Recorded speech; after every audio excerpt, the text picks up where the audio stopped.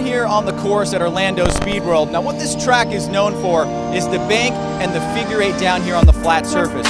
But there's also a section of this course that's very challenging for drivers, and that's this piece from inside clip one to inside clip two, where you have this whoop section, literally jumps that drivers have to navigate over. And at speed, they can literally catch air. It can be very challenging for the drivers. We see a lot of contact here.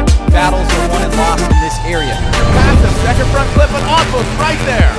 Making a statement here in the final four inches away from Vaughn Gittin Jr. as they cross.